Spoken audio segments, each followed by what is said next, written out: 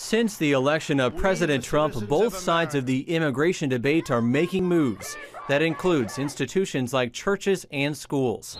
Just outside the Beltway, the University of Maryland is creating a job solely to help illegal immigrants called Undocumented Student Coordinator. I think it does create a false stigma when we say undocumented students or illegal immigrants or anything like that because a lot of them are here for education. I think it'll really like um, make their transition into college a lot easier. Right now there are more than 100 undocumented students attending class right here on the UMD campus.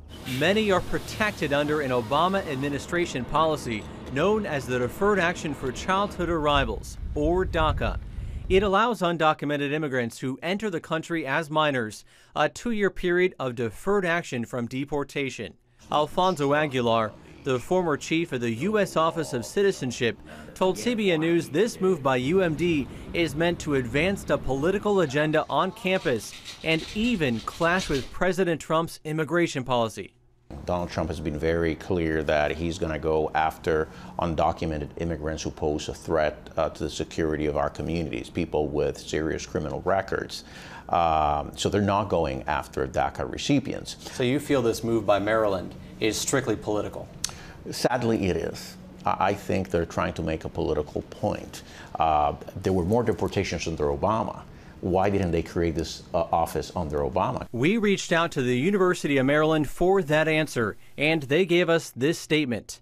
As part of the university's ongoing commitment to undocumented students, we continue to consider ways to offer support. We are assigning a UMD staff person to serve as a coordinator to address the immediate needs of the undocumented student population and we will continue to assess the need for staff support moving forward. I've gotten various emails from the university saying that this is a place, this is a sanctuary for all kinds of students, whether uh, no matter where they're from. Which at the end really uh, exacerbates the fear among uh, DACA recipients because it sounds like they're creating the office to protect them because the federal government is coming after them, which is not happening. Ben Kennedy, CBN News, Maryland.